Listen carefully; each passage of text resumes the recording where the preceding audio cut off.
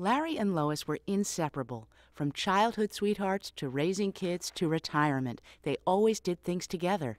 When Larry's bad knees interfered with their tennis, he had them both replaced, and within a few months, they were back on the court together. Lately, though, Lois has been out by herself. She's getting tired of making up stories and excuses for Larry. But since the day his dentures fell out, Larry doesn't go out much. While he was fearless about doctors and injuries, Larry never did like dentists. Lois convinced him to get a bridge when he lost a tooth, but that backfired. The bridge failed after just a few years, costing him two more teeth.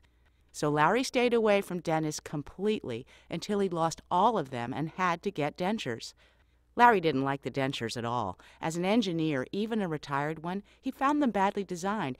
It's like putting on a tire with no wheel, they're just wobbling on the axles. When his dentures fell right out at a restaurant, he drove straight home. The whole situation makes him mad, and he talks about it all the time. It's stupid. They can give me titanium knees, but dentures haven't changed since George Washington's. Why don't they computer model new ones and attach them permanently?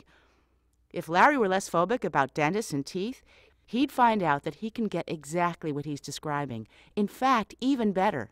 His car comparison is a good way to understand the dental implants that will bring him back out in public. Larry can have replacement teeth attached to his still strong jaw bones, like bolting on four new wheels with titanium lug nuts.